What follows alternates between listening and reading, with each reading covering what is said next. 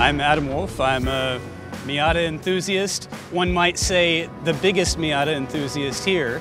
I have two Mazda Miatas. I have a 95 NA, which is blue and white stripe, named Sharka.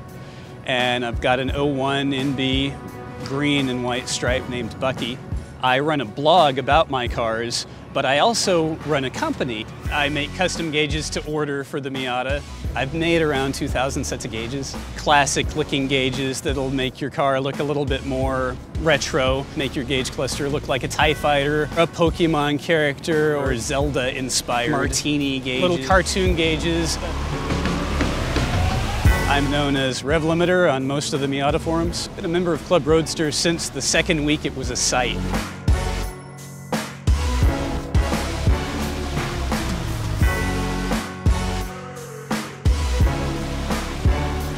I'm here at the Grand Sport Speedway for the MX-5 Experience and the millionth Miata Celebration Tour.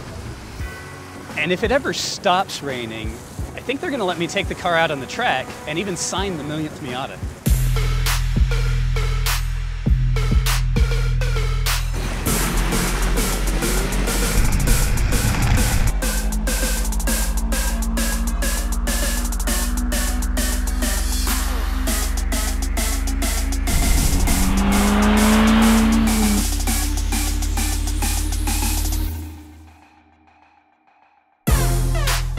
Brake test was fun. Even when you get into the ABS, it still gives you the feeling that you're in control. Having no weight at all makes the car pretty easy to stop, you know? Mazda's lightweight strategy, the Gram strategy, just helps with everything. It makes it accelerate faster with less power, stop faster with less braking. That's what they do. What makes that Miata so much fun to drive? It's just very playful. The new Miata is very easy to control. It's, that's kind of its claim to fame. It's no matter who you are or your whatever experience you have, you can control that car, and you can probably do it pretty well.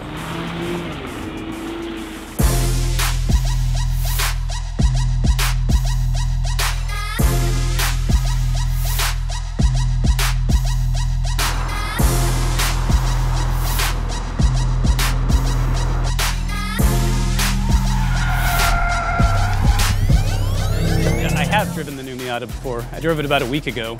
I went to my local dealer and they let me test drive one for about 30 miles. I loved it. Driving the new Miata on the track was fantastic. It was, uh, uh, took my words away. For a stock Miata to do all those things, it was outstanding.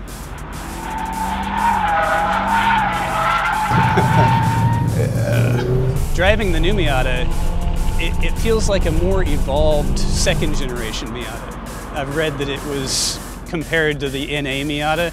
To me, it feels like a more evolved NB Miata. Everything's tight and precise.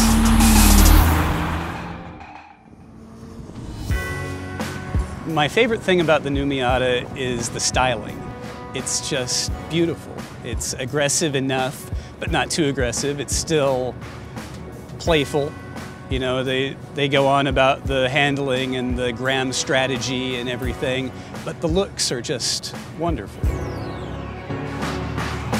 Why do I think Mazda made a million Miatas? Because they could. Because there was the demand for them, because enough people could afford them, um, because they're that much fun to drive.